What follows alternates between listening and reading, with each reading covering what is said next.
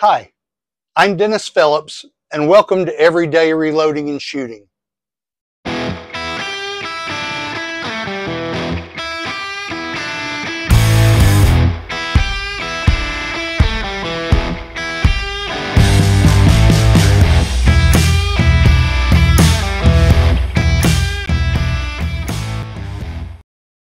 All right, welcome back.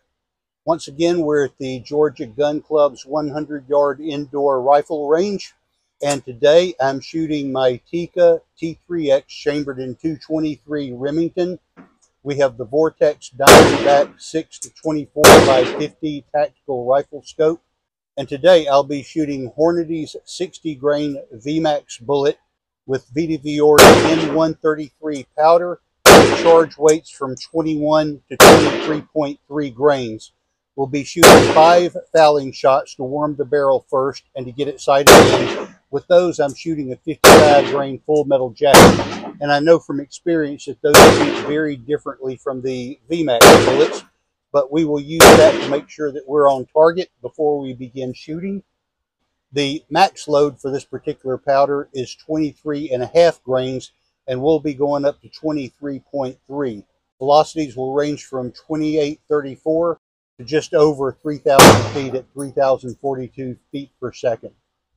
All right, as always, you're welcome to enjoy the music while I fast forward through my shooting, or you can skip forward to the results that follow. Shooting at 100 yards.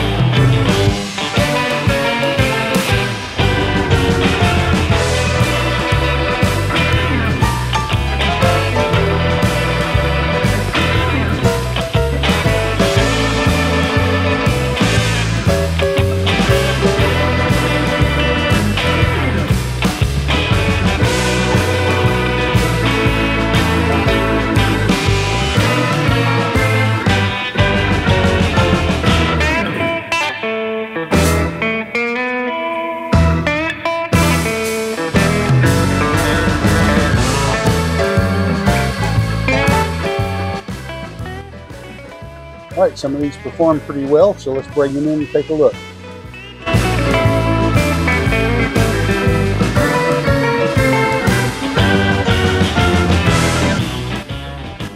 All right, so on my fouling group, I was shooting high to begin with. This was my fifth shot. Then I shot this group at 21 grains, and we're shooting to the right. So after that, I adjusted the scope two clicks to the left and continued shooting. Got this group, which is still shooting to the right. It would have been more to the right had I not adjusted the scope. Shot this group, this group, and it's continuing to shoot more to the right and higher as the barrel is torquing, and I'm increasing the charge weight and the velocity is increasing. So I adjusted it one more click to the left after this group just to make sure I was staying on paper and it continued shooting to the right, but I've got a nice cluster here with two flyers. Uh, shooting, stringing horizontally here and here, which indicates a good velocity node, I think. It's hard to say which one of these is going to be my best group. I suspect it may be here or possibly even here. But we will take these home, measure these with the Hornady Ballistics app using their group analysis function, and then we'll get back to you with the results. All right, I'm back from the range and I have my results. Today we're testing the VihtaVuori N133 powder and the Hornady 60 grain VMAX bullet. I am shooting charge weights between 21 grains and 23.3 grains of powder. and we have velocities from 2,834 feet per second to 3,042 feet per second. I always start with a fouling group with five shots. Usually it's the same bullet that I'm going to be shooting, but I was a little short on ammo, so I decided to load a 55 grain full metal jacket for the warming group using the same charge weight of 21 grains as my starting load. Uh, I've learned from experience in the past that a 55 grain full metal jacket doesn't shoot anything like a 55 or 60 grain VMAX, and that was certainly the case here.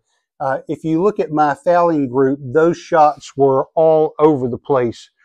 Nevertheless, I left the rifle at that setting and continued.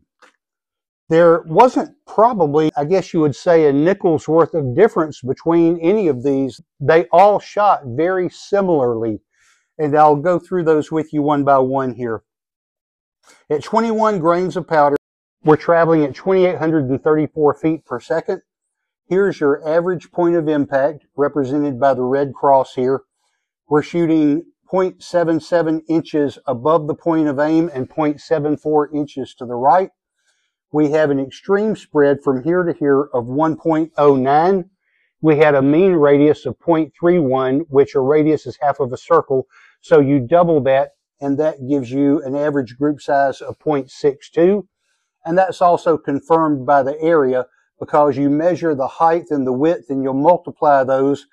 The group is 0.96 wide and 0.68 tall. That gives you an area of 0.65 inches. Not too shabby. At 21.6 grains of powder, we're traveling at 2,886 feet per second. Here's your average point of impact. We're shooting 0.59 inches to the right and 0.79 inches high above the point of aim. We have an extreme spread of 0.95 inches. This was probably my best group because it's the only one that was actually under an inch. We had a mean radius of 0.29 which your average group size from that would be 0.58 inches. And we had an area of 0.68 inches. So very similar to the first group. At 22.2 grains of powder, we're traveling 2,938 feet per second. Your average point of impact is here, which is 0.90 inches to the right and 0.82 inches above the point of aim. We have an extreme spread of 1.03 a mean radius of 0.32, which gives you an average group size of 0.64. And we had an area of 0.76, so an area just under an inch. At 22.7 grains of powder, we're traveling right at 3,000 feet per second at 2990. Here's our average point of impact. We're shooting 1.09 inches to the right and 0.97 inches high we had an extreme spread from here to here of 1.16 inches, a mean radius of 0.33, and an average group size of 0.66 inches, and we have an area of 0.96 inches. Moving on to 23.3 grains of powder, we're now just over 3,000 feet per second at 3,042. The max charge weight on this is 23 and a half, so we're just below the maximum charge weight for this bullet and powder. This is our average point of impact, which is 1.18 inches to the right and 1.01 inches high above the point of aim. We have an extreme spread of 1.07 inches, a mean radius of 0.34, which gives you an average group size of 0.68 inches. The group size is 1.05 wide and 0.67 high, which gives you an area of 0.70 inches. One thing I do notice here that as the charge weight increases, that rifle is torquing, the velocity is increasing, and it's beginning to shoot more to the right and higher. So we go from 0.74 inches to 0.79 to 0.82 to 0.97 to 1.01 in height. And then on the area, we go from 0.77 0.59, 0.90, 1.09, and 1.18. So that rifle is twisting because of the bullet traveling through the rifling in that barrel. All right, so again, not a whole lot of difference between these. This is probably my best group at 21.6 grains. where we had a 0.95 extreme spread and a mean radius of 0.29. If you're just looking at the mean radius alone, we go from 0.31 to 0.29, 0.32, 0.33, and 0.34. So it's opening up and spreading out gradually, although that second group is probably the best group. If you look at just the extreme spread, we go from 109 to 95 to 103 to 116 to 107.